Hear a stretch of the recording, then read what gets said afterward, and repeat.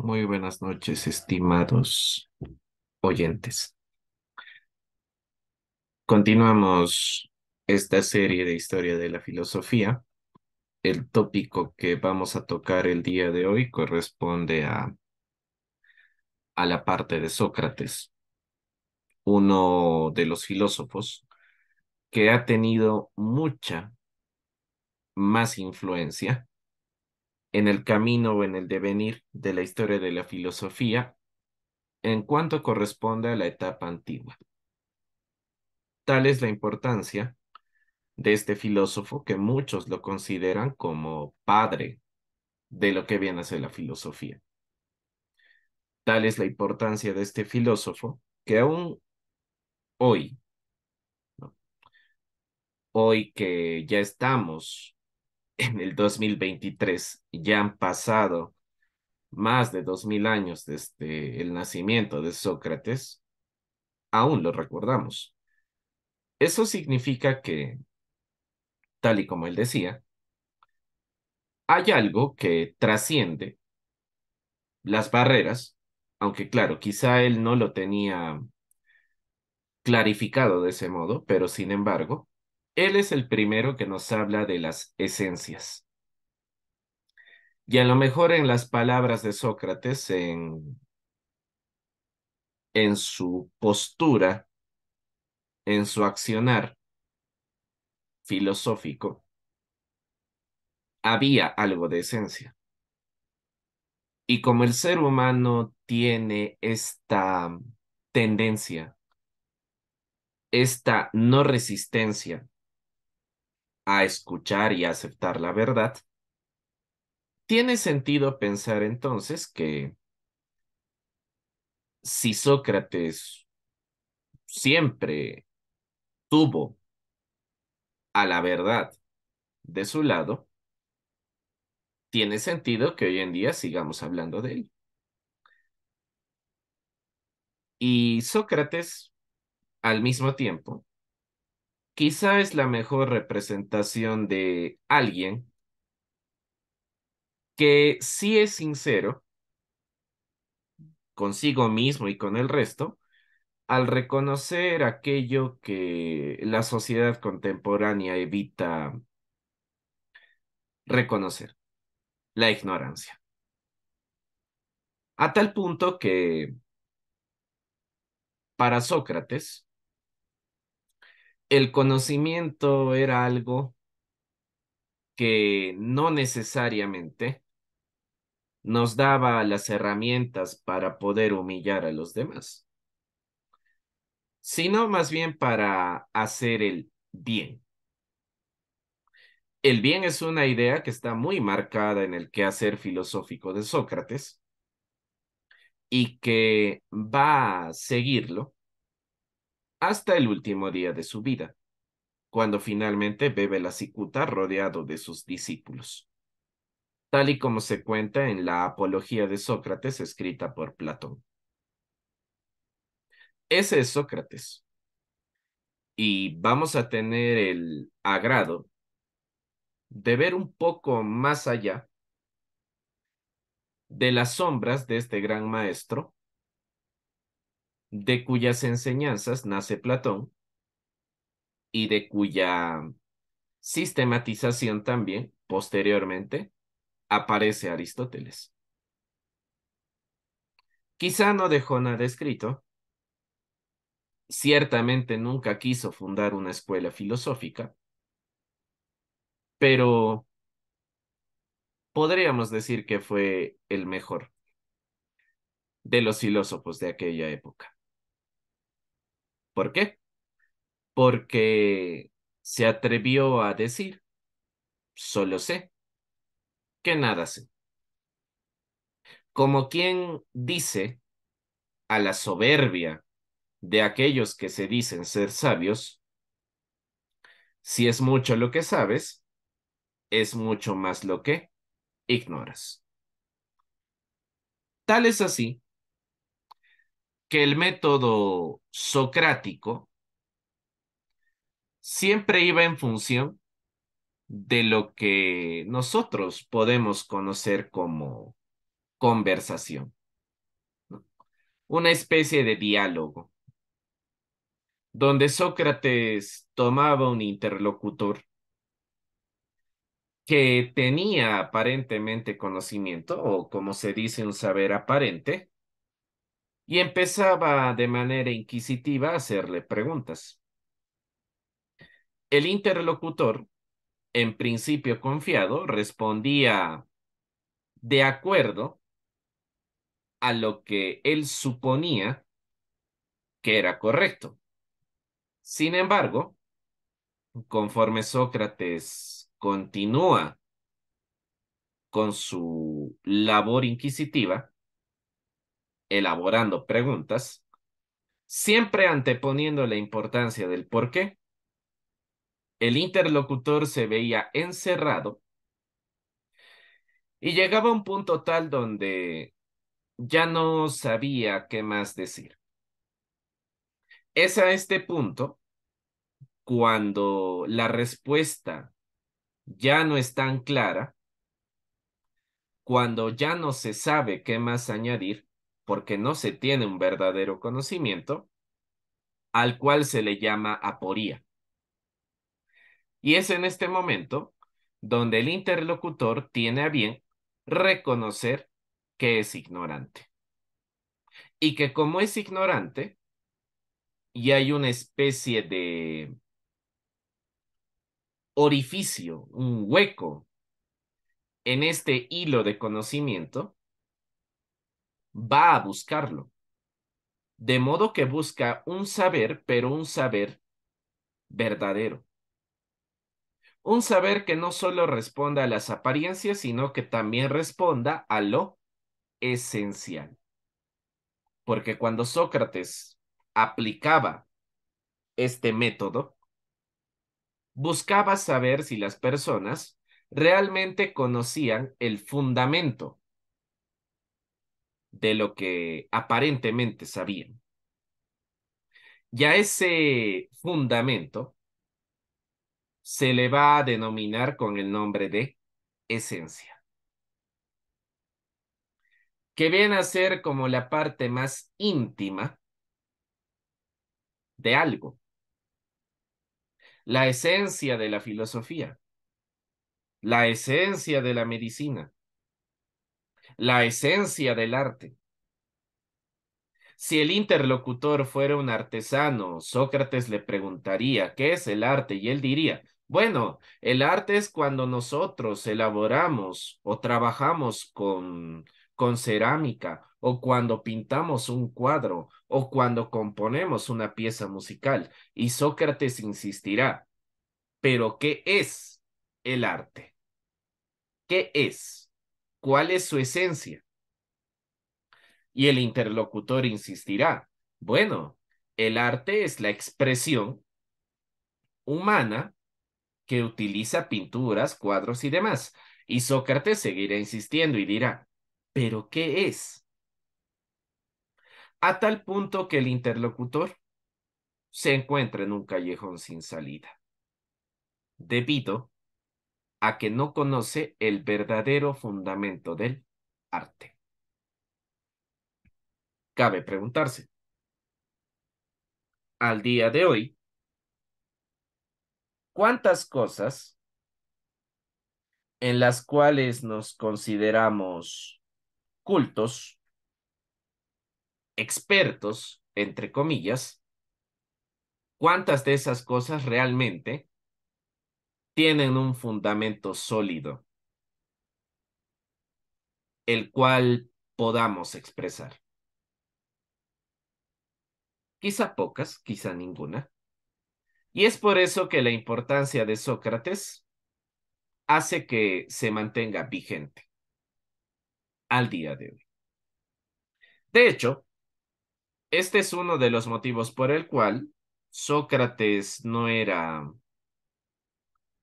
quizá la persona más amable con la cual uno podría entablar una conversación. ¿Por qué? Porque a la mayor parte de las personas les disgusta reconocer que ignoran algo. Es mucho más fácil aparentar, pero es difícil reconocerse ignorante. Ese es Sócrates. Y en cuanto a lo que viene a ser su vida, sabemos que él nace en Atenas, es de los primeros filósofos atenienses, cerca al año 470 a.C., Sabemos que fallece en el año 399 a.C., dicen algunos textos un 15 de febrero, y estas fechas nos llegan gracias a uno de los discípulos de Sócrates llamado Platón. Tuvo papá, tuvo mamá, lo lógico. Su papá tenía el nombre de Sofronisco y tenía el oficio de labrador de piedra. La mamá de Sócrates, mucho más conocida, mucho más famosa, podríamos decir, llamada Fenaretes, cuyo oficio era ser comadrona o, dicho de otro modo, partera. Eso significaba que su madre ayudaba a dar a luz. Eso es importante, sí, porque Sócrates va a tomar el oficio de su madre como un símil que le permite explicar cuál era su quehacer filosófico. Si la madre de Sócrates ayudaba a dar a luz un nuevo ser, un bebé, lo que hacía Sócrates era ayudar a dar a luz nuevas ideas. Ideas que realmente se correspondan con la esencia del conocimiento.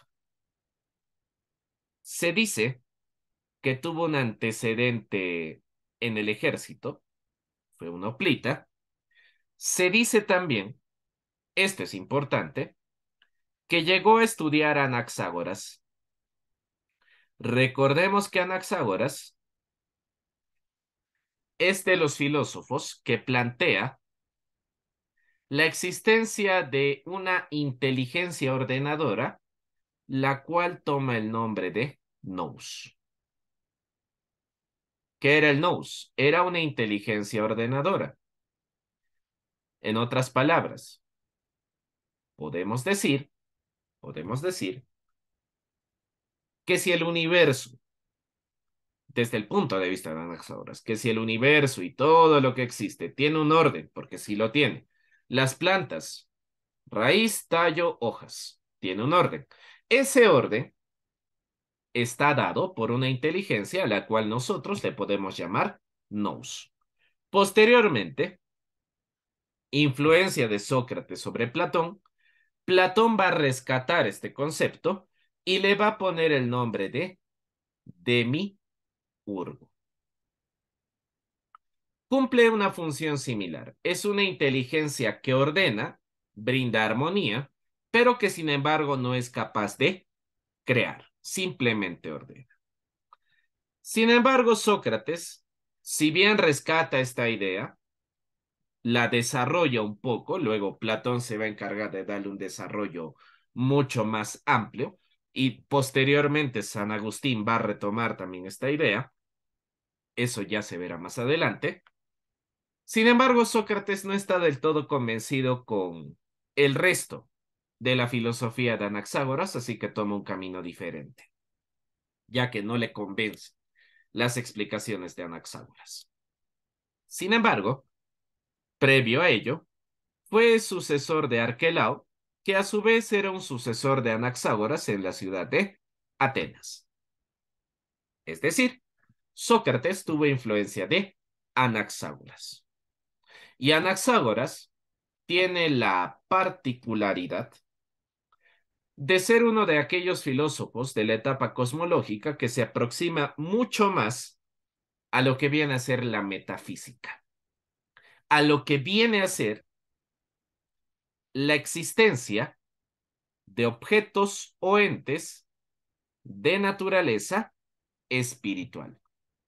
Porque la mayoría de los filósofos antiguos no tenía idea, todavía no había una noción cercana entre lo que viene a ser lo material y lo que viene a ser lo espiritual. Es decir, era indistinto. Para los filósofos antiguos, sobre todo de la etapa cosmológica, todo era material. Cuando aparece Anaxágoras, se acerca un poco a esta brecha que existe entre lo material y lo espiritual. Se dice que Sócrates tuvo una mujer, conocemos el nombre, se llamó Jantipa, y se dice que su temperamento era de una arpía. Vale indicar que nosotros nacemos con un temperamento y con el paso del tiempo, con la influencia de la sociedad, vamos formando un carácter. Solo por dar algunos alcances adicionales. Fuera de ello, Sócrates tiene algunas anécdotas muy particulares y que demarcan un poco su figura. Por ejemplo, se dice que Sócrates siempre gustaba de girar los ojos en varias direcciones. Curioso.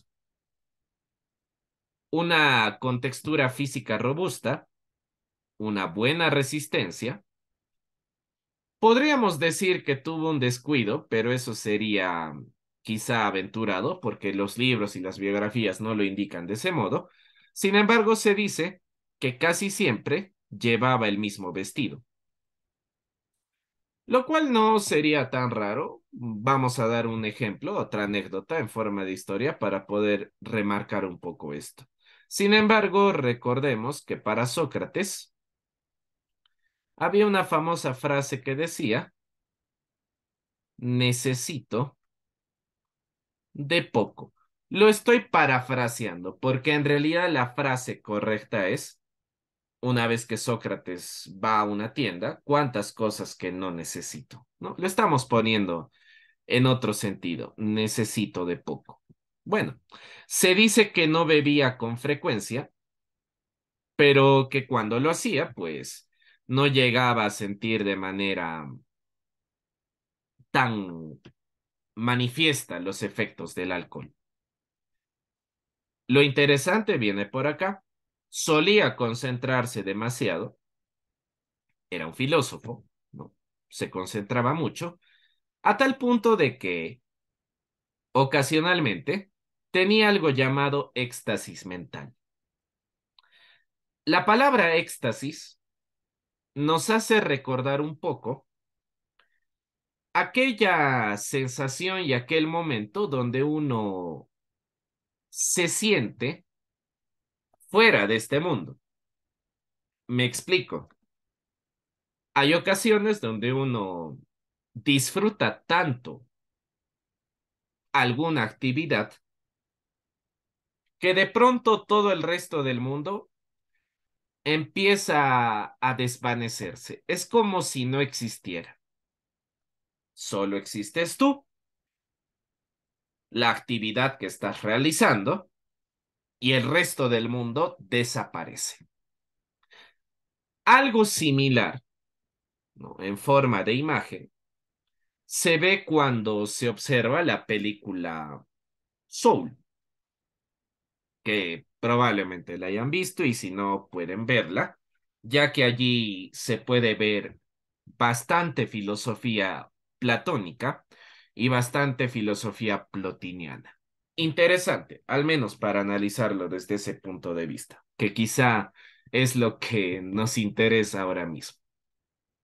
En la película, por ejemplo, cuando los personajes ejecutan, en este caso se habla bastante de instrumentos musicales, cuando ejecutan una pieza musical, digamos, tocar un clarinete, el personaje lo toca con una maestría, se nota que lo disfruta, se nota que es lo suyo, se nota que nació para esto, teleología, a tal punto que la persona lo disfruta tanto que literalmente sale de este mundo y va a una realidad diferente donde solo existe él y su instrumento.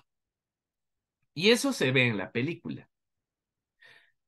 Como cuando los personajes disfrutan tanto una actividad que se arrebatan o son arrebatados de este mundo por breves momentos mientras dura su quehacer.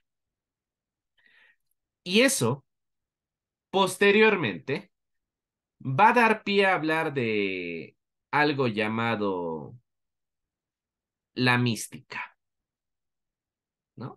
La mística. Y esa mística va a estar bastante pronunciada en la figura de Plotino, mucho más adelante, obviamente, y posteriormente en la figura de San Agustín. Por mística entendemos fenómenos, hablando un poco de San Agustín, en los cuales uno llega a tener un, una especie de encuentro con una realidad sobrenatural como sería el caso de Dios. Si por breves momentos tengo un encuentro con la presencia de Dios, estoy en un éxtasis místico. Todo el resto del mundo no existe para mí en ese momento y solo existo yo y Dios. Por eso, ese éxtasis con el paso de los años, con el paso del tiempo, va a tomar la denominación de mística. Y la mística va a ser algo que se repite recurrentemente en Plotino y más que todo en la figura de San Agustín. Sócrates, al igual que la mayor parte de las personas, al igual que la mayor parte de los filósofos, tuvo que haber vivido, tuvo que haber pasado, quizá por un evento, un momento en su vida, que de alguna u otra manera le hace redirigir el camino. No estamos diciendo que esté equivocado. Simplemente tuvo que haber pasado algo para que Sócrates se convierta en Sócrates. Porque él no nace siendo Sócrates, siendo este filósofo fastidioso, molestoso, inquisitivo, que busca o ayuda a dar a luz nuevas ideas en la mente de las personas. Y ese incidente, ese hecho, al cual estamos llamando la conversión, se dio en un lugar llamado el oráculo de Delfos, que era un sitio donde emperadores, reyes, personajes públicos importantes, entre otros, asistían para pedir consejo a los dioses ante una difícil decisión ante una crisis. Recordemos que la palabra crisis significa decisión, traducida desde el griego. Al oráculo de Delfos entonces iban los personajes importantes, pedían consejo directamente a los dioses, por ejemplo, si fuera una declaración de guerra, el emperador se acercaba al oráculo de Delfos y preguntaba a los dioses, ¿Es conveniente que yo declare la guerra en este momento? Y recibí una respuesta. Sin embargo, sin embargo, Querefonte, que es un amigo de Sócrates, no va a preguntar algo quizá tan trascendente, o al menos aparentemente no tan trascendente. Querefonte se acerca al oráculo y a través de las pitonisas tenemos una imagen, la van a poder observar. Hace la consulta a los dioses. Y Querefonte pregunta algo bastante curioso y dice, ¿existe alguien más sabio que Sócrates? a lo que el oráculo a través de la pitonisa, que es una especie de una especie de vidente, una especie de traductora del mensaje apócrifo que dan los dioses, dice no. Vale decir que para el momento en el cual Querefonte hace la consulta, según el oráculo, no existe nadie más sabio. Si nos pasara, probablemente uno diría, bueno, si no hay nadie más sabio, pues enhorabuena. Ya no tengo que estudiar o en todo caso no hay nadie superior a mí, así que me regocijo ¿no? en mis laureles. Sin embargo, Sócrates entiende este mensaje en otro sentido.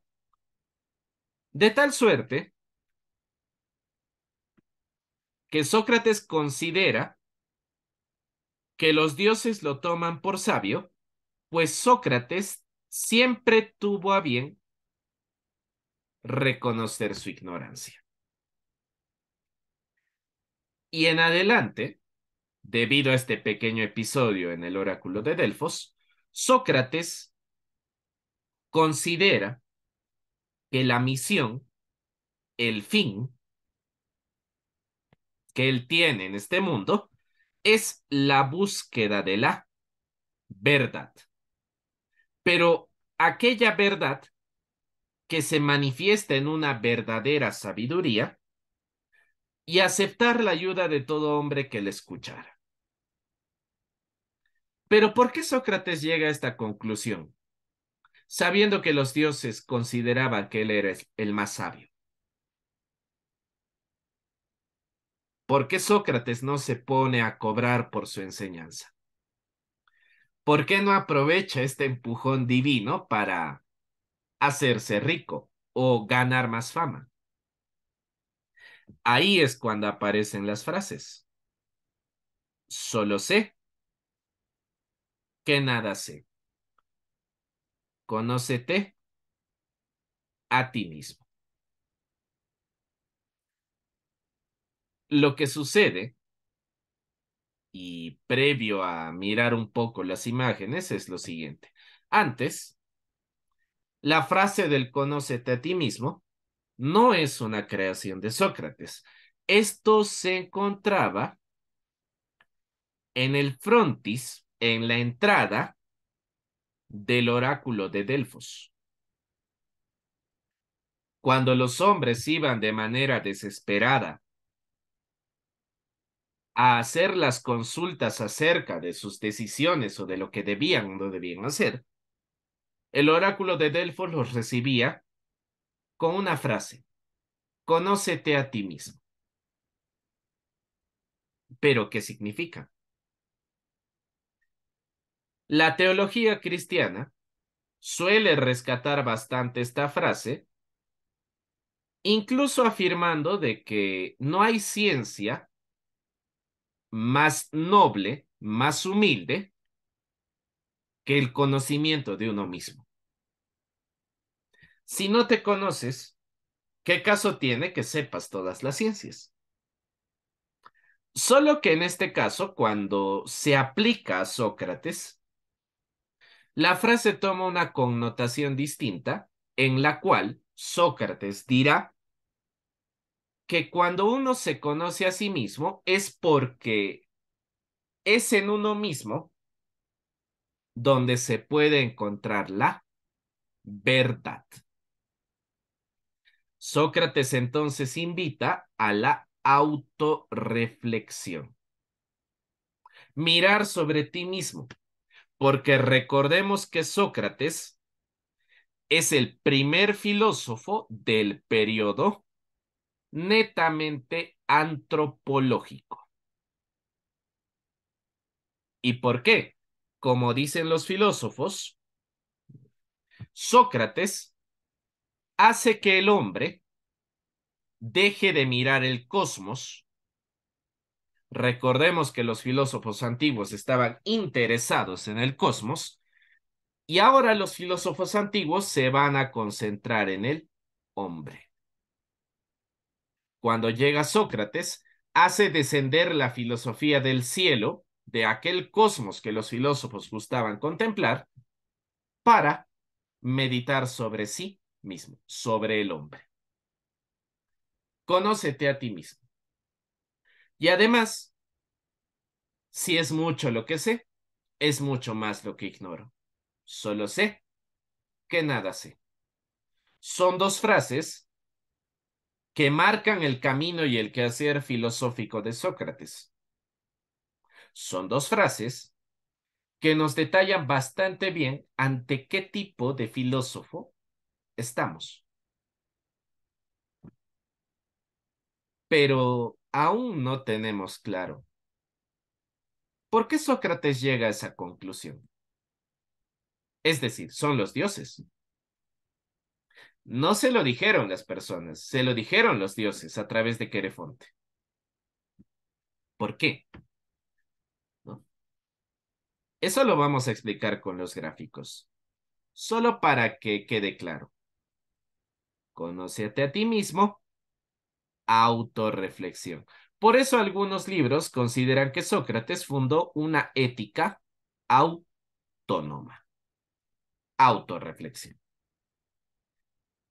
Tenemos aquí las imágenes del oráculo de Delfos, ¿no? Se puede visualizar mucho mejor por esta parte y como habíamos mencionado, en el frontis del oráculo de Delfos estaba la frase, conócete a ti mismo, la cual también se puede colocar de esta manera, nosche te conócete a ti mismo. Lo que tenemos por acá es justamente la pitonisa. Esta es la pitonisa. Que era como una especie de vidente, como una especie de medium, que servía como una trabazón, como un enlace entre los dioses y las personas. ¿Por qué hay gases cerca de la pitonisa? Se dice que la pitonisa estaba en un lugar donde emanaban gases que tenían efectos un tanto alucinógenos. Es más, cuentan las historias que el mensaje que la pitonisa daba como respuesta de los dioses era un mensaje apócrifo, una lengua inentendible estaba con efectos alucinógenos, así que es comprensible de que todo aquello que la pitonisa decía realmente no tuviera nada de sentido. ¿Cómo entender lo que le pasó a Sócrates entonces? De esta manera, ponemos un ejemplo.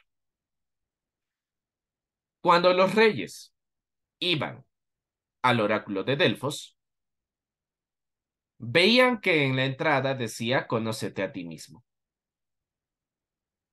Y es interesante porque hablamos de una persona que está yendo a pedir ayuda para tomar una decisión que solo le corresponde a él.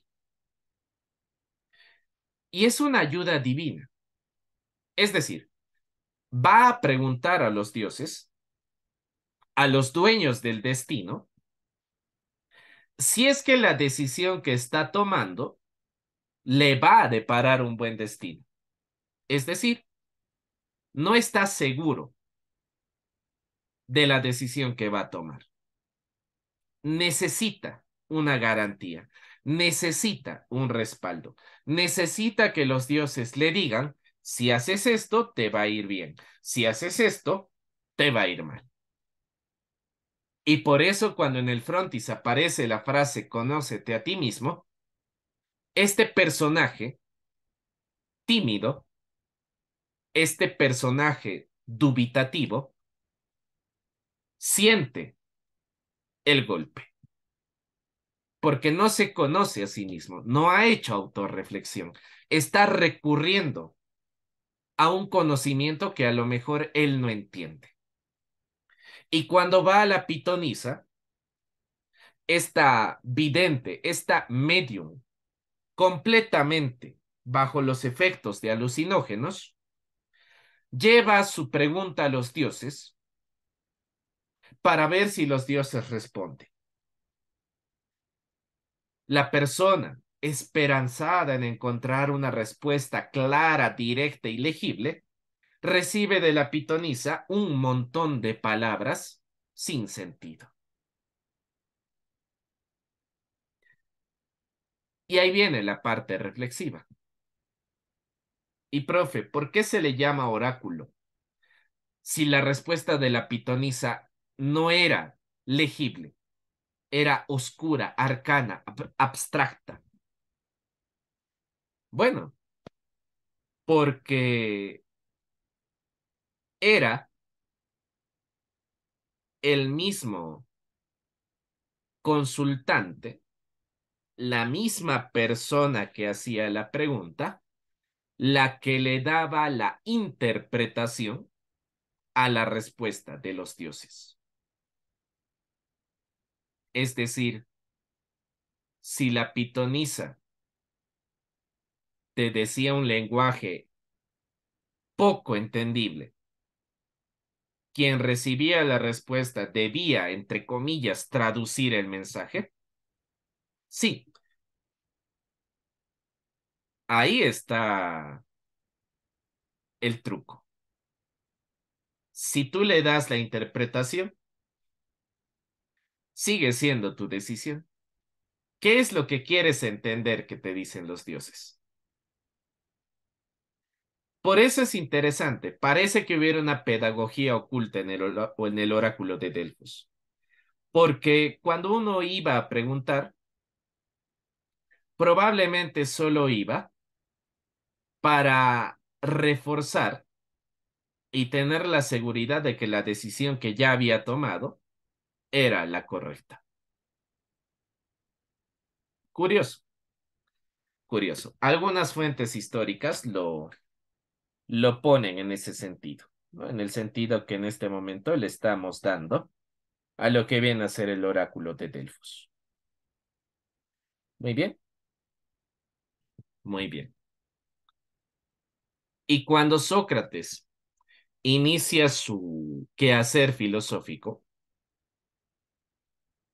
como dijimos al inicio, no deja escrito nada, Sócrates no escribe ningún libro. Y todo lo que sabemos de él proviene de otras fuentes. Genofonte, Platón, Aristóteles, Aristófanes. La fuente quizá que más se utiliza, Platón a través de los diálogos y a través de la apología. Aristóteles, sin embargo, detalla muy bien dos aspectos de la filosofía socrática. El razonamiento inductivo y la definición de lo que viene a ser un universal el razonamiento inductivo y la definición de lo que viene a ser un universal. Curioso. Sócrates inicia con los razonamientos de tipo inductivos y define una palabra bastante oscura en aquel momento llamada universal. ¿Y qué venía a ser el universal? Lo que mencionamos al inicio, la esencia.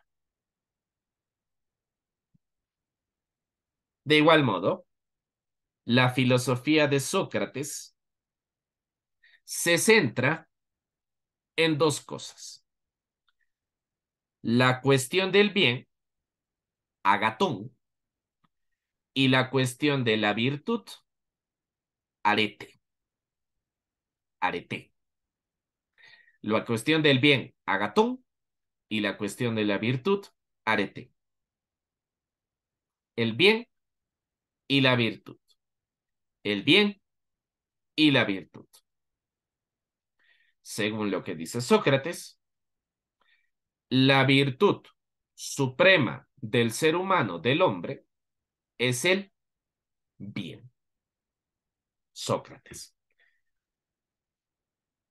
Ahora, ¿cómo es que el hombre alcanza la virtud y alcanza el bien? A través de un principio, ya lo hemos dicho, conócete a ti mismo. Noscete ipsum. Conócete a ti mismo.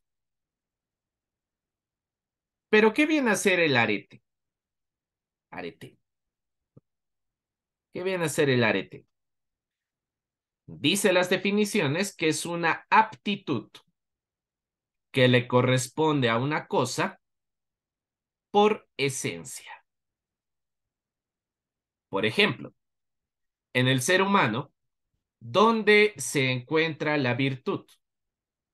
En la parte divina y racional, según Sócrates, que corresponde al alma. Ahí está la virtud. Es decir, la esencia del hombre que tiene que ver con la virtud se encuentra en su alma, que viene a ser algo divino y racional.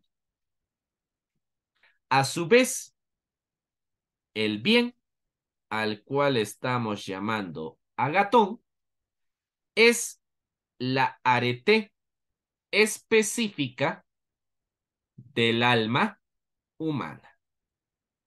Es decir, en otras palabras, en otras palabras, la virtud propia del alma humana consiste en el bien. Consiste entonces en conocer el bien y lograr el bien. Y cuando esto se hace, según Sócrates, se está logrando ejecutar la más esencial de todas las tareas, según lo que dice Sócrates. En otras palabras, empieza a aparecer aquella noción de que el bien es algo que el hombre no va a cansarse de buscar. Es como el fin último del hombre, la realización del bien para que el hombre realmente sea hombre, porque recordemos que es parte de su esencia que a su vez reside en el alma. Eso es lo que viene a ser entonces el bien para Sócrates.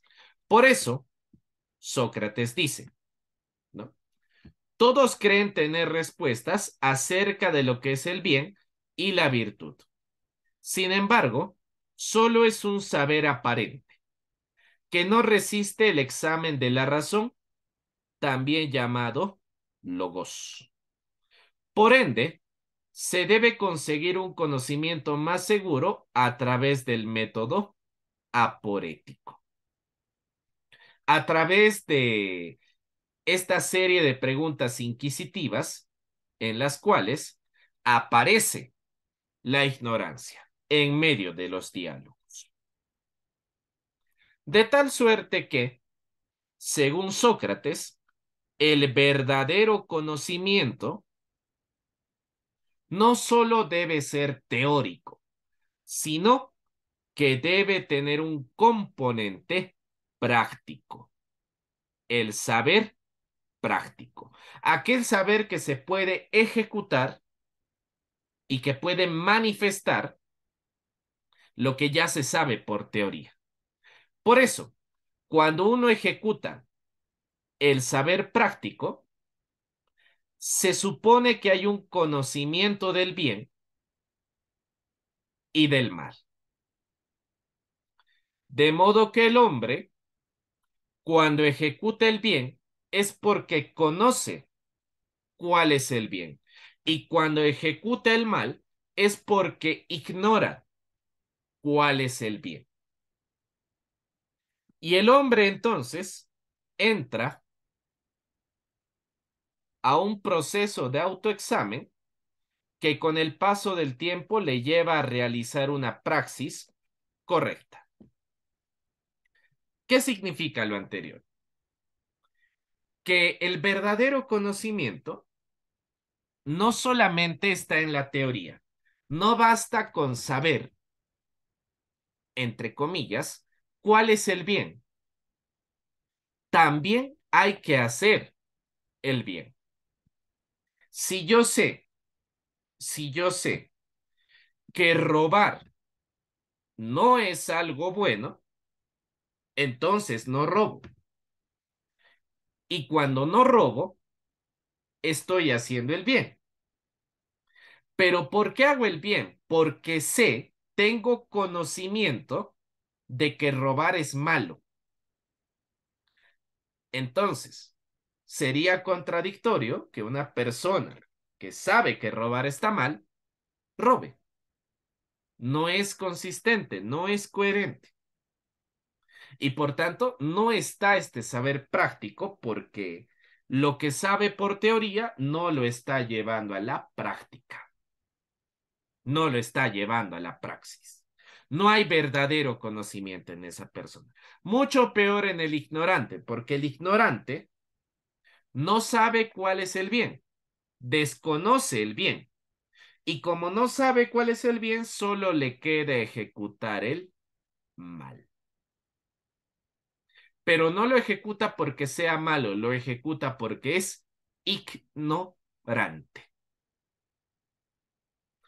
Y a esa ética, a esa manera de entender el comportamiento del hombre, en ética se le suele llamar intelectualismo moral. Por eso Sócrates afirma y dice apoyado en la razón, en el logos, no obedeceré otra parte mía que a aquel logos, aquel ya razón, que se muestre como el mejor en la investigación. Es decir, aquella que me muestre mucho más argumento. Aquella que se muestre más verdadera, más clara. Por eso se puede afirmar hay que tener cuidado con esta afirmación, que la última verdad será mucho mejor que la anterior. ¿A qué se refiere esto? Que conforme yo me vaya cuestionando a través del autoexamen, voy a notar que la verdad que voy obteniendo conforme voy respondiendo las preguntas esa verdad se hace más clara. Por eso es mucho mejor que la anterior. De tal modo que entrando en el diálogo socrático, ese método socrático del cual estamos hablando muestra una escalada, un camino, una progresión interesante desde lo particular a lo universal. Por eso se le llamó inductivo, porque parte de lo particular hacia lo universal o general. Esto es inductivo. Inductivo. Lo cual permite a los interlocutores, a los ocasionales, a las ocasionales personas con las cuales Sócrates conversaba, los cuales estaban atrapados en las apariencias, incapaces de definir la esencia de la virtud y tan solo ofreciendo ejemplos de la misma, les permitía captar la esencia del concepto de virtud. Y a esa esencia es a lo que en filosofía se le llama universal. Es decir, al final Sócrates lo que buscaba con su método era que las personas conozcan ¿Qué es un universal? La esencia de los conocimientos que aparentemente tiene. Eso se hace a través del método socrático. Algunos libros le llaman aporética, solo que nosotros en este caso le vamos a llamar mayéutica. Muy bien. Muy bien. Sigamos. Dice Aristóteles, en este sentido, añade Aristóteles, añade Aristóteles, a Sócrates se le puede atribuir con justicia el mérito de dos cosas, como ya habíamos indicado.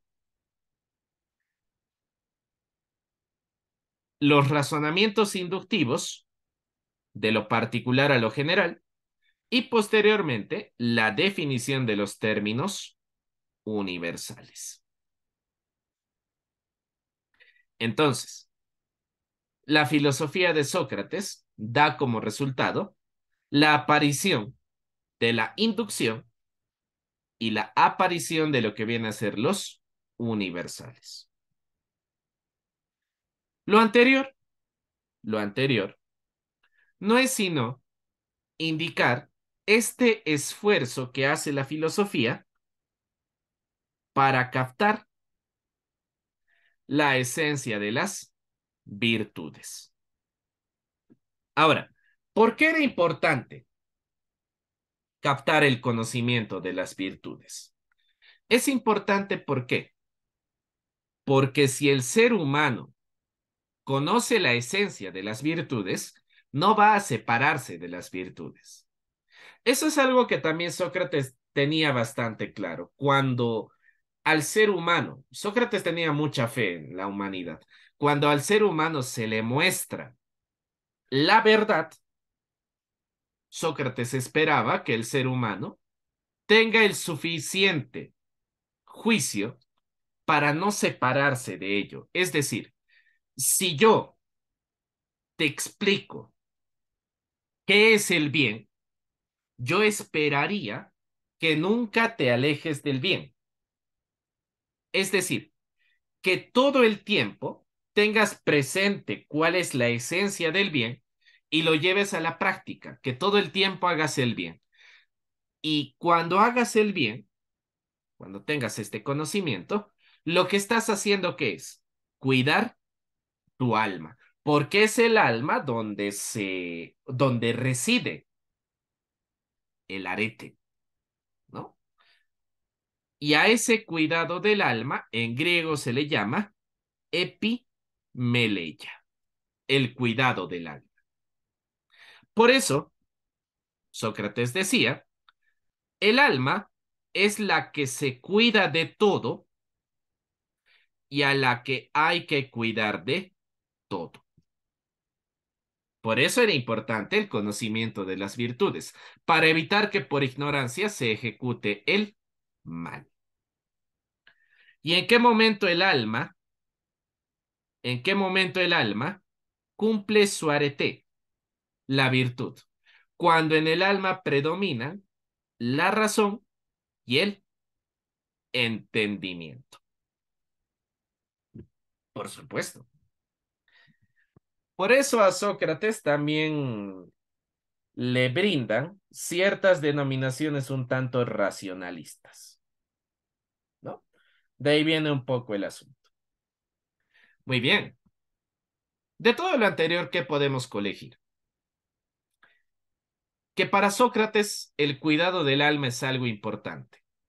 Y cuidar el alma, epimeleia, solo se logra a través de un conocimiento verdadero de las virtudes.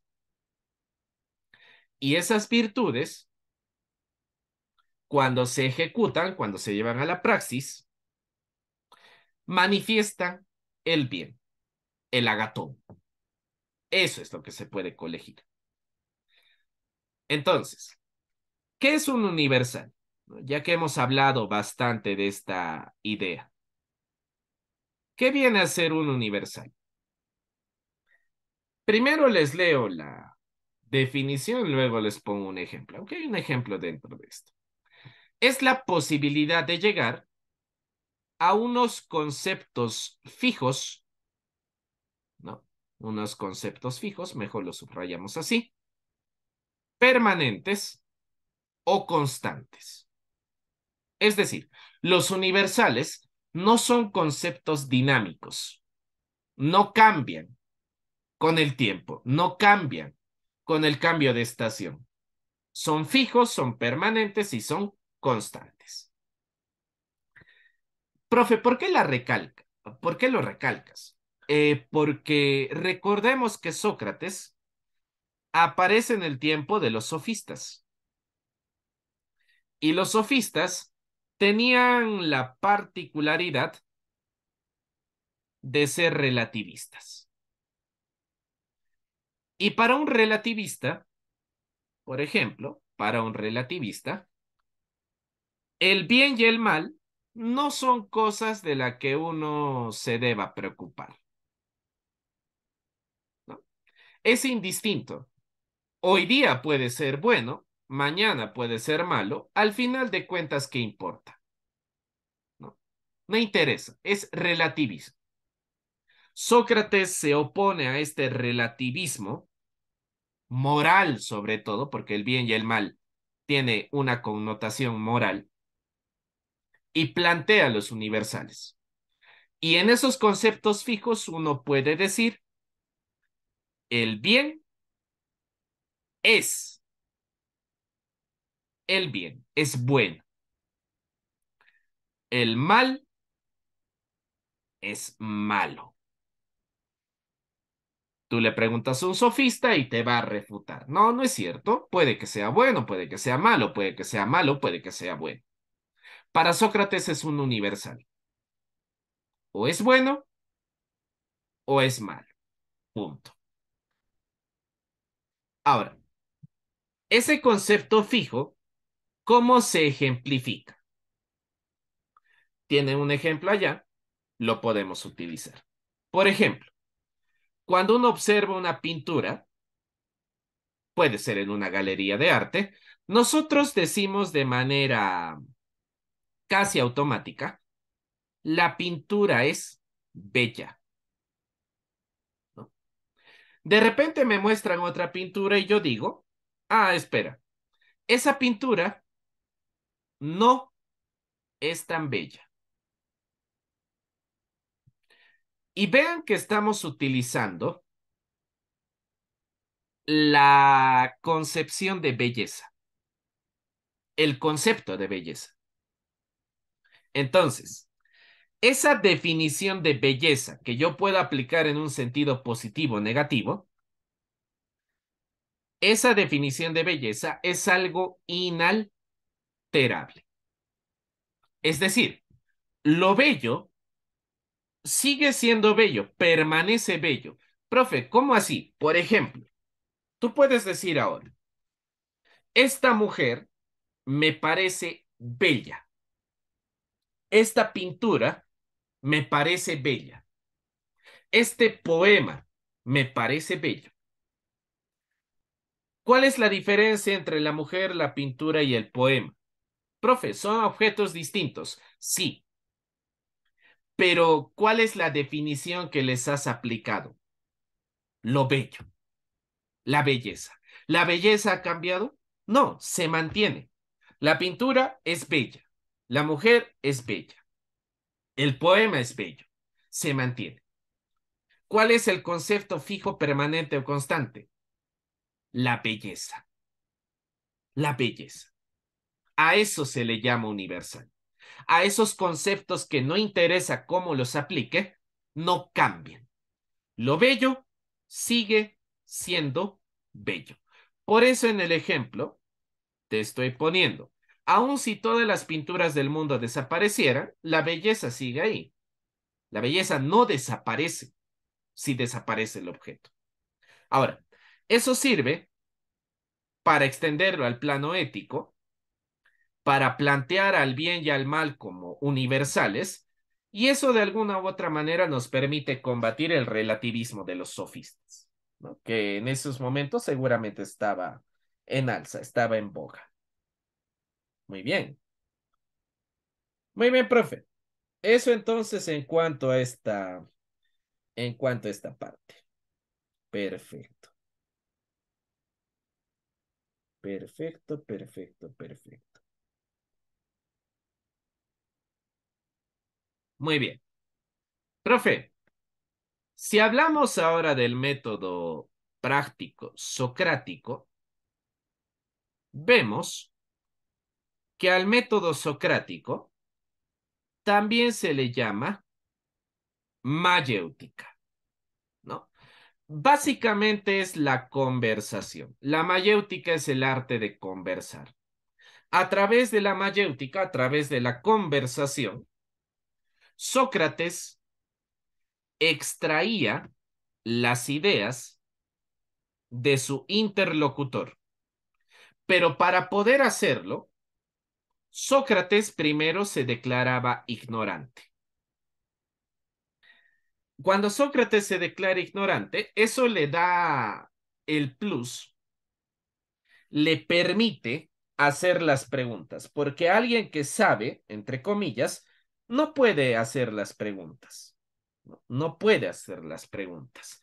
Entonces, cuando Sócrates se declara ignorante, empieza a plantear las preguntas, logrando que el interlocutor al principio responda de manera fluida, pero conforme avanza la conversación, empiece a contradecirse, empiece a contradecirse, hasta llegar a un punto de aporía donde no va a saber qué responder, de modo que solo le queda reconocer, vamos a marcarlo así, reconocer su propia ignorancia. Entonces, cuando Sócrates cuestiona, Sócrates no intenta mostrarse como erudito. No es su objetivo ser erudito.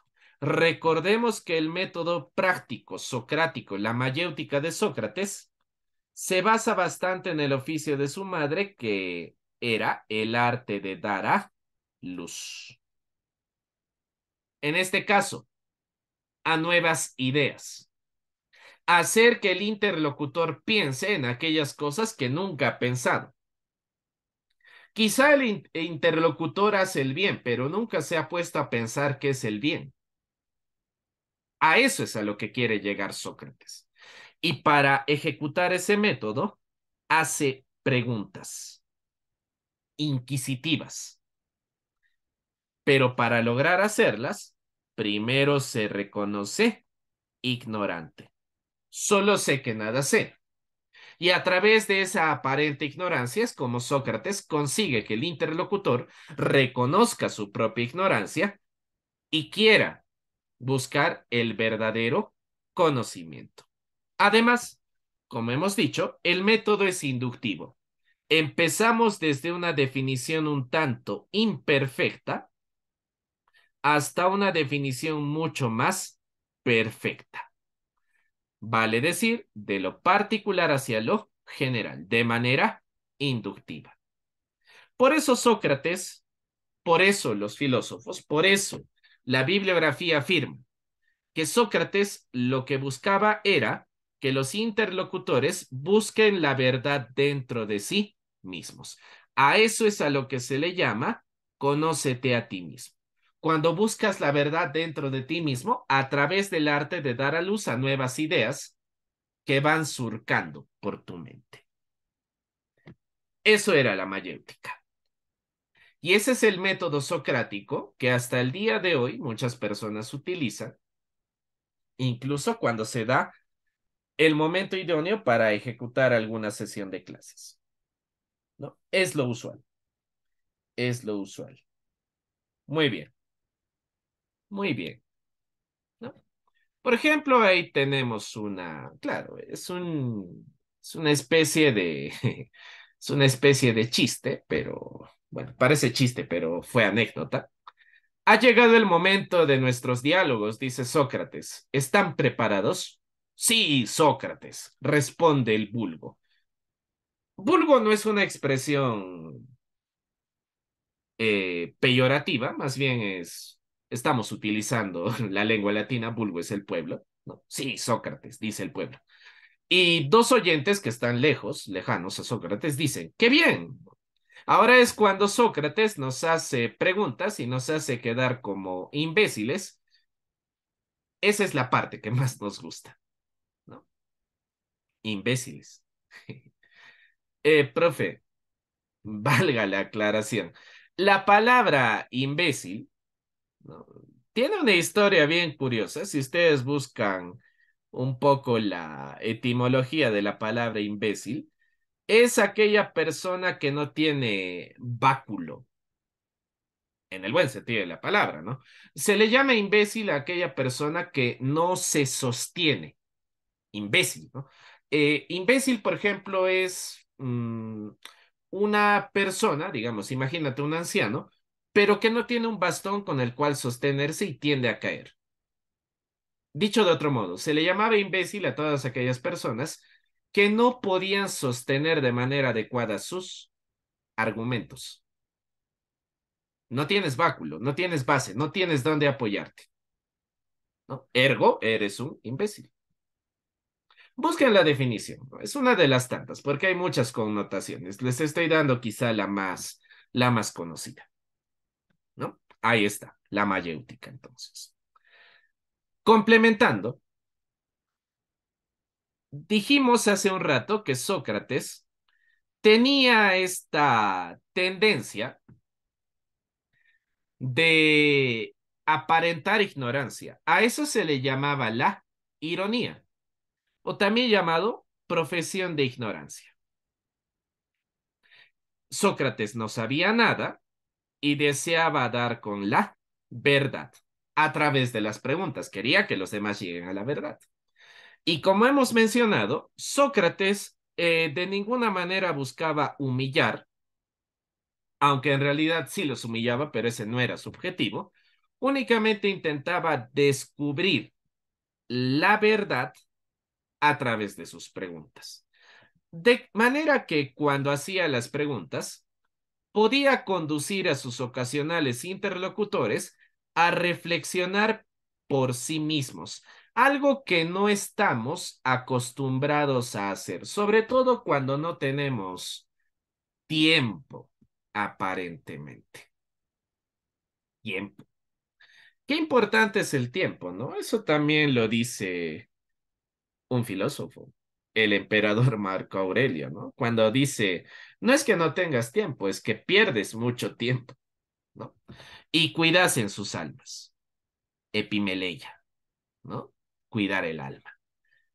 A este proceso también se le llamaba proceso de higiene mental.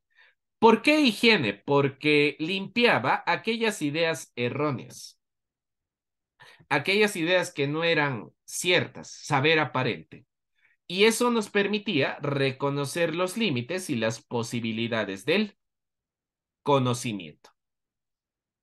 Entonces el quehacer de Sócrates era importante, Bastante interesante, bastante importante. Como hemos dicho también, el alma, para Sócrates, era el lugar donde residía la virtud, ¿no? Es el sujeto pensante, el sujeto reflexivo, que ansía busca la sabiduría y por ende, al buscar la sabiduría, se está manifestando el requerimiento que tiene el alma de ser atendida. Y cuando el alma encuentra esa sabiduría, de esa sabiduría emanan el resto de bienes. Como una fuente, salen el resto de bienes, incluido algo interesante llamado la felicidad, también llamada eudaimonía, consistente en su propio orden y armonía. Es decir, como hemos dicho hace un rato, que cuando el hombre cuida a su alma, epimeleia, a través del conocimiento de las virtudes, a través del conocimiento de los aretes, consigue el agatón, consigue el bien.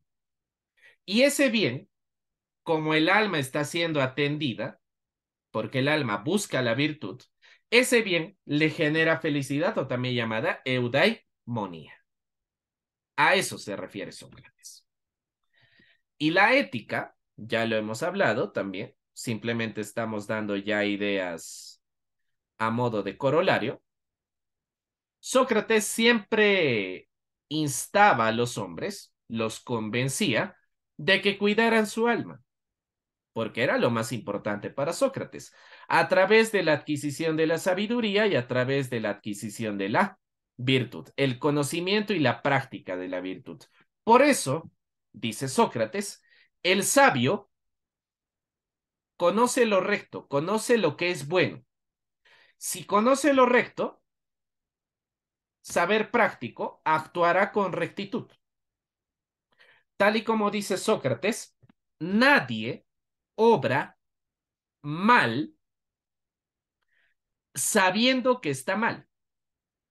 Es decir, es decir, si yo sé, según Sócrates, obviamente, si yo sé que robar está mal, yo no voy a robar porque sé que está mal. Por eso les decía al inicio, Sócrates tenía mucha fe en la humanidad, a tal punto de que para Sócrates no era dable de que una persona sabia, que realmente conozca el bien y sepa que hay cosas que están mal, haga el mal. Por eso Sócrates dice, nadie obra el mal a sabiendas y atrete. Es decir, nadie obra el mal sabiendo cuál es el mal y aún sabiendo, haciéndolo de todas maneras. Dicho de otro modo, de manera más simple, no existe gente mala, existen ignorantes. ¿No? Podemos ponerlo acá.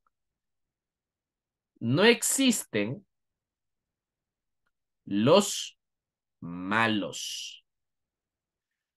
Existen los ignorantes. Según Sócrates. Según Sócrates. Y a esa postura filosófica que tiene que ver con la rama de la ética, le llamamos intelectualismo moral. El que conoce el bien, hace el bien. El que ignora el bien, por su ignorancia, solo le queda la ejecución del mal. De esa manera lo ve Sócrates. De esa manera lo piensa nuestro amigo Sócrates. Muy bien. Muy bien. Profe, ¿a qué le llama entonces una acción recta? Sócrates. Para Sócrates una acción recta es aquella que se ordena con la utilidad del hombre. ¿Para qué? Para que el hombre a través de las acciones rectas pueda alcanzar la felicidad verdadera. Si hay una verdadera, se supone que hay una aparente. La felicidad aparente seguramente está en aquellas cosas que no necesariamente están relacionadas con la virtud.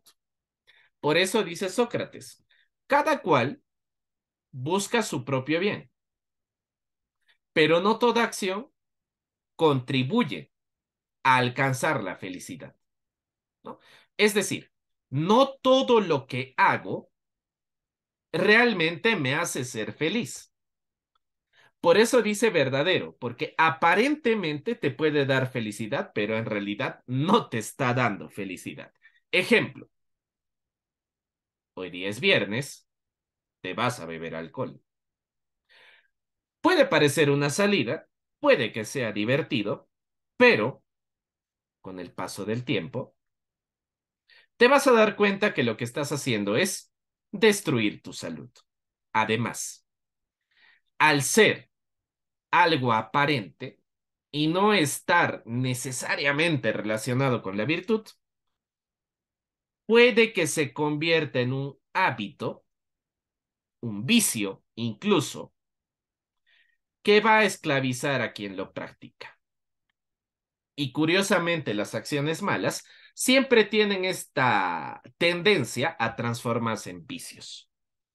Por eso dice Sócrates, a manera de reflexión, por eso dice Sócrates, tiene mucha más ganancia, es mucho más ventajoso, mucho más beneficioso ser justo, recto en el accionar que injusto ser valiente a ser cobarde. Y si uno lo piensa quizá de una manera un poco más cruda, de una manera un poco más desnuda, es cierto. En realidad es cierto, ¿eh? En realidad es cierto. Si uno lo piensa, ejecutar el bien no te trae problemas. Cuando haces el bien, no hay remordimiento de conciencia, no estás dañando a los otros, todo está bien, haces el bien y todo está tranquilo. Pero cuando haces el mal, aparece la conciencia. Probablemente esa acción mala se repita, porque eso es lo que pasa con las acciones malas. Probablemente se repita. Y quizá en algún momento te genere algún tipo de estrés o ansiedad. Es así. Sócrates, obviamente, no sabía de psicología. No tenía claro la cuestión ética, todavía no de manera sistemática como la tenemos ahora, pero ya estaba adelantado a su tiempo y nota que es mucho mejor hacer el bien que hacer el mal. Incluso desde un punto de vista utilitario, es más útil hacer el bien que hacer el mal. Y cuando habla del placer, porque esa es una de las cuestiones también fundamentales dentro de todo esto, la felicidad se puede relacionar con el placer. Y a veces el placer es algo que nosotros buscamos normalmente. Tiene una explicación científica, no viene mucho al caso en este momento, pero, por ejemplo, cuando una persona consigue un objetivo, se siente feliz, se siente placentero, siente placer, le gusta la sensación. Dice, al fin lo logré y siente este placer. Pero, pero, pero, pero, pero, hay tipos de placeres. Hay un placer que es un placer mucho más material y hay un placer que también se le puede llamar un tanto intelectivo, espiritual, ¿no? aunque no necesariamente son sinónimos. El placer. Y Sócrates, justamente, creo que ya podemos deducir, no cree que este placer duradero, pero realmente duradero, no efímero, esté en lo material. Debe estar en lo intelectivo. Debe estar en algo más allá de lo material. Por eso dice Sócrates, la felicidad no está en tener bienes materiales. ¿no? Y esta es una idea que van a rescatar las escuelas socráticas menores, que van a ser tres, las vamos a mencionar de manera rápida al final de nuestra charla sobre Sócrates, donde está, por ejemplo, la escuela de Megara, la escuela sirenaica, y principalmente los cínicos. Y como no está la felicidad en los bienes materiales, entonces, ¿para qué vamos a tener bienes materiales? Y ahora viene la anécdota. Cuenta una historia acerca de Sócrates, que un día Sócrates, caminando por las calles de Atenas, se aproxima a una de aquellas tiendas. A una de aquellas tiendas donde, bueno, se vendían muchas cosas, los estantes llenos de, los estantes llenos de, de objetos, novedades, infinidad de cosas. La gente entrando y saliendo, comprando, buscando el mejor, la mejor de las cosas, lo que más les convenga. Sócrates observa toda esta parafernalia, todo este alboroto, todo este caos. Pasa de la tienda y Sócrates reflexiona y dice, ah, vaya, ¿cuántas cosas que no necesito? Y es cierto, ¿no? Si uno se da una vuelta por los supermercados, por las tiendas por departamento, etcétera, eh, realmente uno tendría que preguntarse, ¿no? ¿Cuántas cosas que no necesitamos? Celular. Pero necesito el celular. Bueno, necesitas un celular, no necesitas el, el celular. Ropa relojes, accesorios, libros, etcétera. Haz una revisión a tu, a tu escritorio, tu closet. ¿Cuántas de las cosas que has comprado utilizas? ¿Cuántas realmente no te hacían falta, pero igual las compraste? No. Sócrates, Sócrates. Y por eso, ¿no? El alma, cuando se preocupa por lo material, cuando se llena de este saber aparente, ¿no? Un tanto irracional, es como que se fragmenta. Se nota la injusticia. Deriva la injusticia de ese alma. En cambio, cuando el alma está ordenada, hay un autoconocimiento, una autorreflexión. Se utiliza la razón, el logos, y hay un cuidado por el alma, la epimeleya,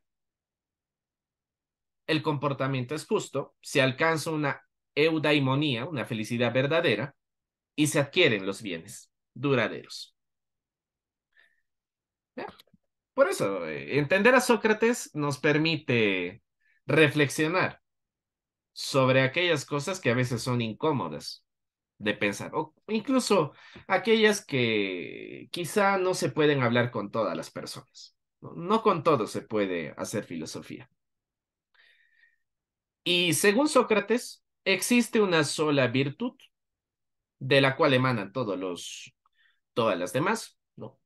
El arete, que puede ser enseñada. Es decir, Sócrates, tal y como estamos mencionando hace buen rato, no solamente, no solamente eh, planteaba la existencia de un conocimiento teórico, sino que ese conocimiento tenía que manifestarse en la praxis, ¿no? Por eso, Sócrates dice que la enseñanza consiste en guiar al hombre a adquirir, palabra importante, convicciones. Es decir, que el hombre esté convencido, que el hombre esté convencido de lo que va a hacer. Ya que cuando yo le explico al hombre a través del conocimiento intelectual, yo le explico, este es el bien, esta es la esencia del bien. Según Sócrates, me estoy asegurando de que ese hombre se convenza en su fuero interno de manera íntima para que así, convencido de lo que va a hacer, manifieste la virtud. Y esa virtud se puede enseñar. Sócrates le tenía fe a la humanidad. ¿no? Pero no me vas a dejar mentir. Hay algunas personas que tienen esta capacidad, no son todas, obviamente, de lograr conseguir convencernos de ejecutar alguna especie de acto o acción solamente, solamente, solamente hablándonos. Pero es que no te hablan al oído, tocan la parte más íntima de tu alma. Pocos lo logran, muy pocos. En cuanto a política, Sócrates no gustaba demasiado de este quehacer. Es más, eh, cuenta las biografías o la biografía de Sócrates, que Sócrates tenía más bien tenía más bien como un designio divino, es como si le hubieran dicho, ahorita vamos a hablar de eso también, que no se mete en política. Es como que una vocecita le dijo a Sócrates, oye, Sócrates, ¿sabes qué? Este, haz lo que quieras, pero a política, no, no te metas en política. ¿No? Bueno, Sócrates definitivamente no era fanático de la democracia. La democracia es un sistema de gobierno donde aparentemente todos elegimos ¿no? a través de un voto universal. Sin embargo, Sócrates considera que esto no tiene sentido. Eh, ¿Por qué? La razón es simple. le he puesto un ejemplo acá, pero la razón es simple. Cuando tú vas al hospital buscas que te atienda un médico y el médico que te va a atender se supone que debe ser alguien erudito en medicina. Por eso es médico. Si tienes un problema legal, buscas un abogado que sea erudito, que sea letrado en las ciencias políticas. Porque alguien que es inexperto o incluso alguien que es ignorante de la política no te puede defender en un juicio. Por eso dice Sócrates, por eso dice Sócrates, si para mi salud escojo a alguien experto en medicina, para mi defensa escojo a alguien experto en abogacía, ¿cuál es el sentido de que en una democracia escojamos a alguien que no sabe nada de política y ciencias políticas? No tiene sentido. No tiene sentido. Porque en una situación de emergencia, tú no confiarías la salud de tu mamá a un estudiante que recién está empezando a caminar en estos devenires de la medicina.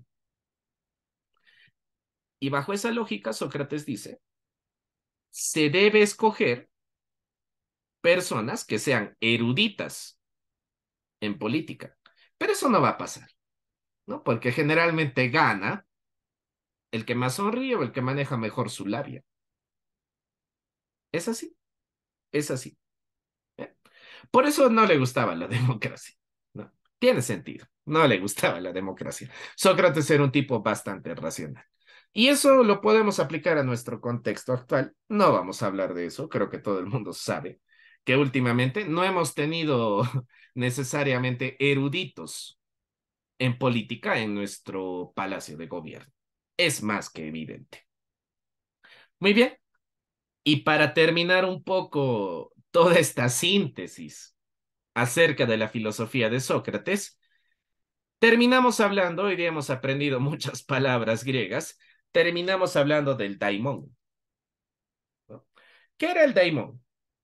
Es como la vocecita, ¿no? Vuelvo a, vuelvo a recalcar lo que ya mencioné hace un rato. Es como aquella vocecita, aquella vocecita que te murmura, te cuchichea, lo que debes y no debes hacer. El daimón. Es como la voz de la conciencia. ¿no? Los griegos creían que era una divinidad ¿no? Que podía intervenir en el destino del hombre. ¿Por qué? Porque quizá en algún momento te podía convencer de que hagas o no hagas algo, ¿no? el daimón. Según los pitagóricos, según los pitagóricos, discípulos de Pitágoras de Samos, era una especie de entidad intermedia entre los humanos y los dioses. Según Platón, eran las almas de los muertos más sabios, lo cual tiene sentido porque si el daimón es el alma de un muerto sabio, entonces sí te puede aconsejar, ¿no? Y sí te puede decir qué es lo que deberías y no deberías hacer. Según Heráclito, el daimón era el carácter o el genio de cada persona. Tienes un genio terrible, el genio. Según Demócrito de Abdera, Heráclito de Éfeso, Demócrito de Abdera decía que el alma era el lugar donde residía el daimon. Y ese daimon se podía también conceptualizar, relacionar con lo que viene a ser el destino, con lo que viene a ser bien feliz o bien infeliz. Un destino feliz o infeliz, o el daimon. Lo que nos interesa. Según Sócrates, el daimon era una vocecita interior que ayudaba a la guía de las acciones, ¿no? Y que según Sócrates era signo del destino divino del alma. Por eso les dije hace un rato, según Sócrates, es el daimon el que le dijo, no te metas en política, no, no es para ti. Y este daimon no es algo eh, salvaje, no es algo que ha surgido de la nada, debe estar domesticado, o sea, sometido, entre comillas, a la razón. Sócrates decía que ese daimón era como una especie de síntesis entre lo que es la parte religiosa y la parte un tanto racional. Porque a pesar de todo lo que hemos indicado, Sócrates mmm, sí comparte un poco la, la cultura griega en el sentido de la creencia en los dioses, ¿no? Aunque no lo manifiesta demasiado. El daimón, entonces, tiene la función de disuadir, ¿no? Por ejemplo, eh, se me ocurre, veo que hay una billetera en la calle tirada y digo, me la voy a llevar a casa. El daimón entonces aparece y te dice, no deberías, recuerda que está mal. Es decir, el, el daimón intenta convencerme, no me dice qué debo hacer. No te ordena, no dice, oye, no recojas, sino te convence, te argumenta. De esa manera, se ve la parte racional del filósofo y el respeto a lo irracional. ¿Por qué? Porque el daimon, si bien tiene una parte racional en el momento que te argumenta de manera adecuada por qué no deberías robar o lo que sea, tiene también una parte un poco arcana, un poco eh, inmaterial, que seguramente se relaciona más con la parte religiosa en cuanto a los griegos. Eso sería el daimon. Por último, ya cerrando esta parte, hablando de la religión, Sócrates, Sócrates, ¿hablaba de los dioses? Sí, era griego, hablaba de los dioses, pero quizá tenía una concepción un tanto más pura, más depurada, quizá incluso un poquito más racional de lo que venían a ser los dioses, ¿no? Es más, era una concepción tan pura que muchas veces no logró manifestarla de manera adecuada e incluso por eso lo consideraban un rebelde. Motivo también para que le hagan el juicio donde es condenado a beber la cicuta, ¿no? Y la razón del hombre, ¿no? Es parte, dice Sócrates, de una razón universal o también llamada una mente del mundo, ¿no?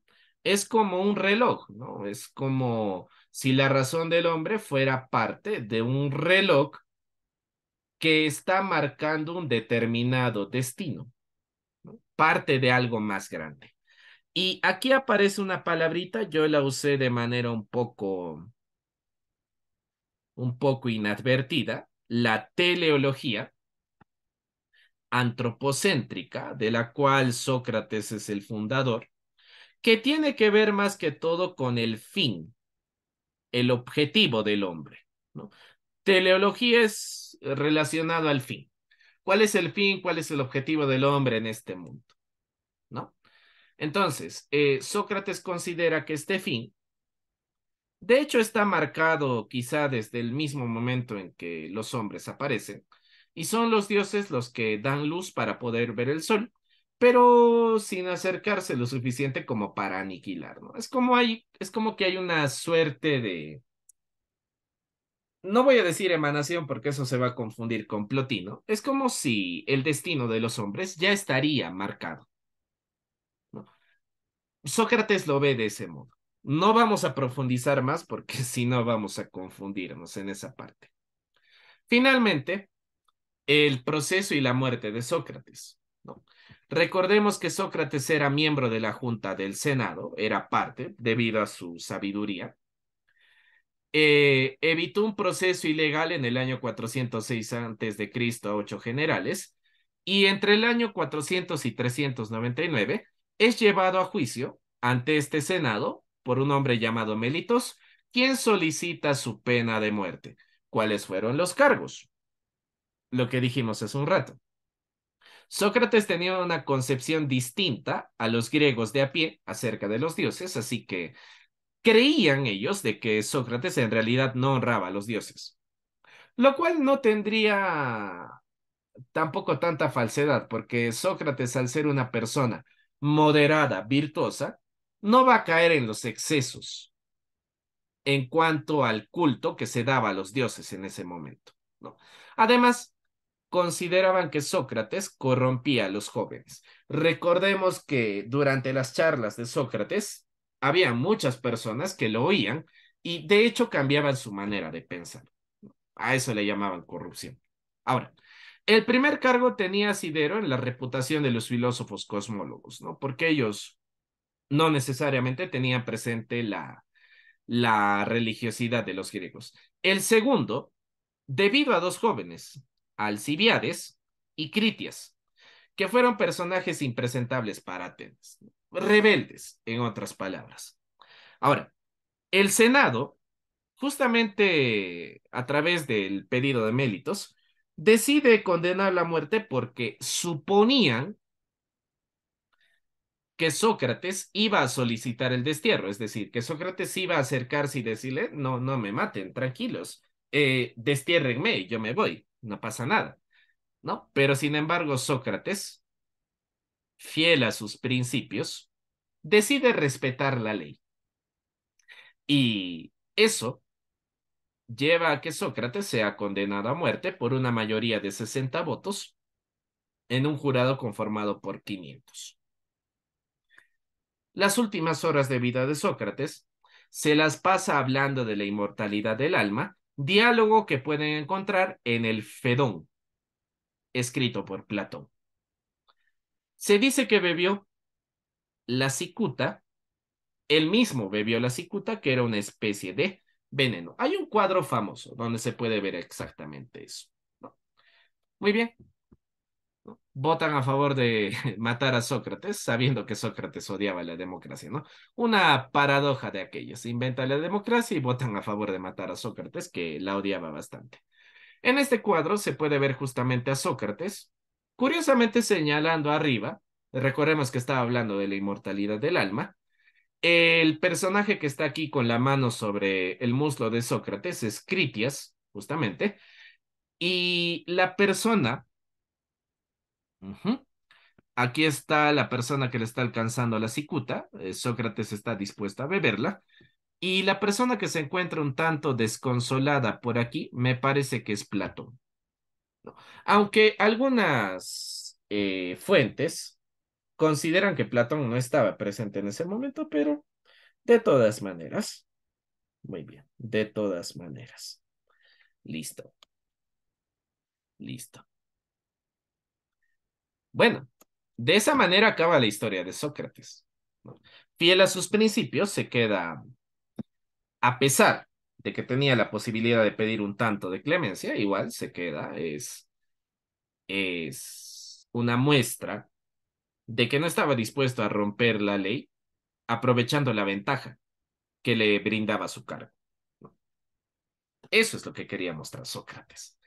Coherencia con la filosofía que enseñaba, hasta el final, aunque eso le, aunque eso al final le trajera como consecuencia su propia muerte. Como dijimos, nacieron tres escuelas socráticas menores, no es que Sócrates haya querido, simplemente nacieron. La escuela de Megara, fundada por Euclides de Megara, que, bueno, fue formada por los primeros discípulos de Sócrates que asistieron a su muerte. ¿no? Fue influenciada por los eleatas, acordémonos de Parménides de Elea, que consideraban que el uno era el bien negaban la existencia de un principio contrario al bien, es decir, para ellos no existía el mal, no había mal, solamente el bien. Tenían argumentos ingeniosos, clásico en Parménides, ¿no? La famosa reducción a lo absurdo, la famosa reducción a lo absurdo, y decían dentro de esos argumentos, por ejemplo, esta frase, un grano de trigo no hace montón. Poco a poco vas agregando y la pregunta sería, ¿cuándo empiezan a hacer montón? O sea, ¿en qué momento digo un montón de trigo? Curioso, hay que pensarlo. Diodoro Cronos, por ejemplo, decía, ¿no? Lo pueden aplicar a vuestra vida personal, sobre todo aquellos que aún no superan su relación. Podrías decir esto en la soledad de tu pequeña habitación. Lo que no has perdido, aún lo tienes. Si no has perdido los cuernos, provecho, aún los tienes. Correcto. No te sientas mal. Muy bien. Diodoro también añade, añade, perdón, lo posible no puede convertirse en imposible. Lo posible no puede convertirse en imposible. Por eso dice, solo lo real es posible. El mundo existe y no existe. Son ideas contradictorias, pero sabemos que el mundo existe. Entonces, es imposible afirmar o es imposible que el mundo no exista. Pero si el mundo nunca hubiera existido, notamos que la posibilidad, posibilidad se ha vuelto en una imposibilidad, pero lo anterior no es correcto. Ah, curioso. Bastante curioso. Bastante curioso. Diodoro de Cronos, Escuela de Megara. Interesante esta parte, bastante comentada, bastantes anécdotas de los cínicos, la escuela cínica. Llamado también los discípulos del perro, porque no se solían guiar de lo que la gente de a pie decía, de, de la opinión del vulgo. Fundada por un filósofo llamado Antístenes, los cínicos, que enseñaba en un gimnasio llamado Sinosargos. Enseñaba en un gimnasio. Discípulo de Gorgias, Antístenes, y luego seguidor de Sócrates. Recordemos que Gorgias es el famoso filósofo de las tres nadas.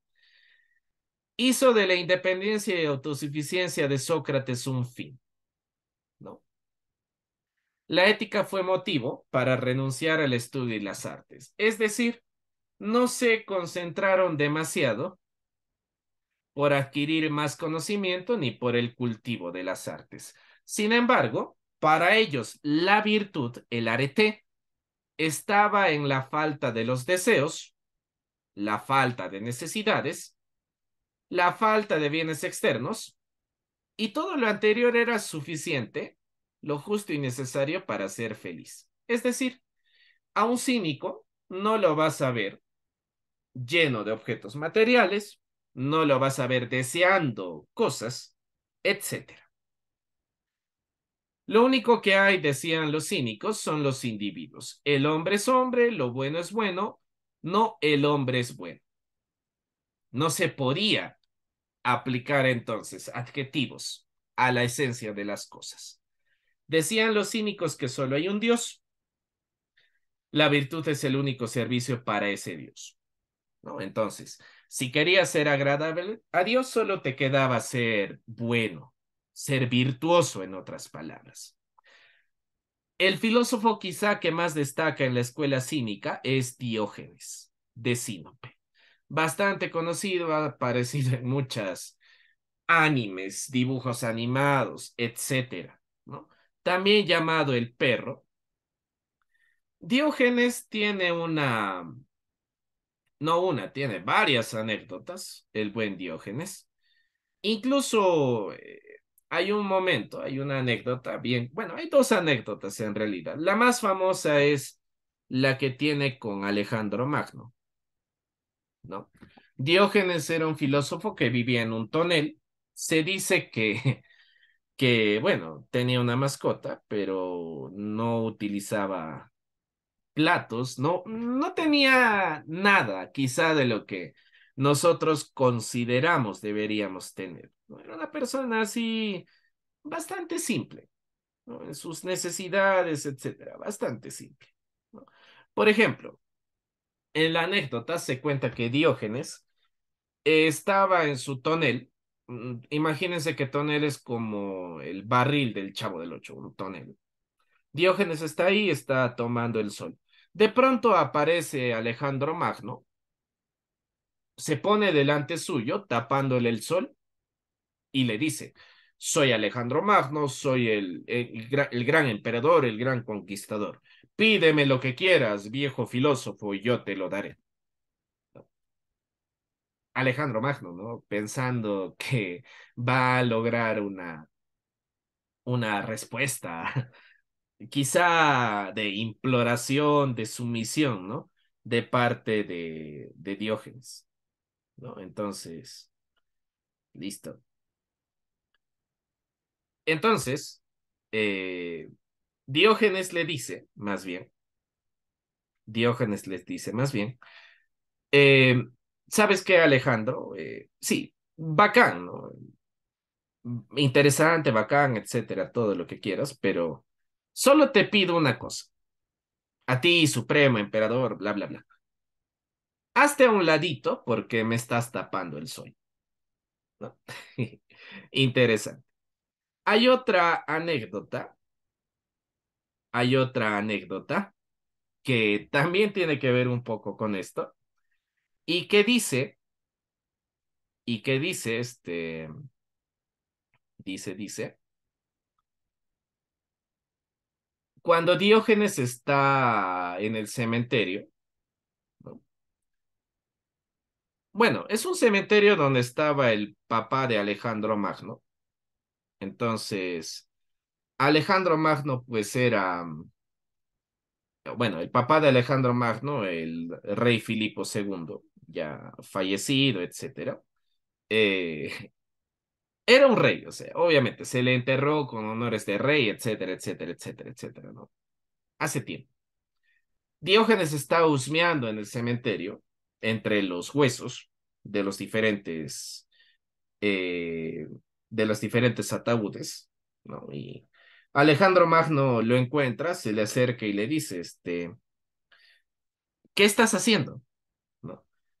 Y, y Diógenes tiene la sagacidad de decirle, bueno, eh, estoy intentando saber cuál de estos cráneos le corresponde al todopoderoso y rico rey Filipo II.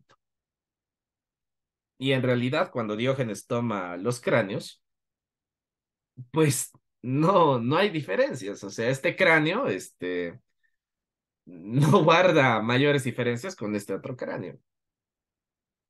Por eso, o sea, Diógenes tenía esta habilidad. Que al final en el cementerio todos vamos a ser iguales, ¿no?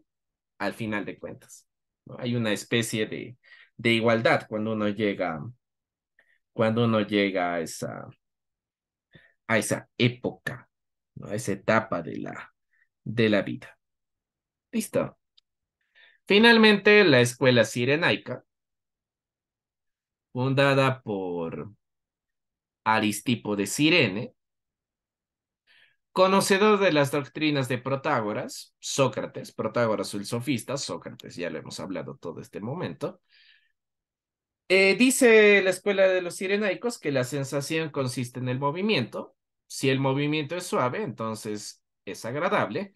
Si el movimiento más bien es brusco, entonces es un tanto penoso. No, es tan agradable. Y si no hay movimiento, más bien se dice que no hay placer ni dolor.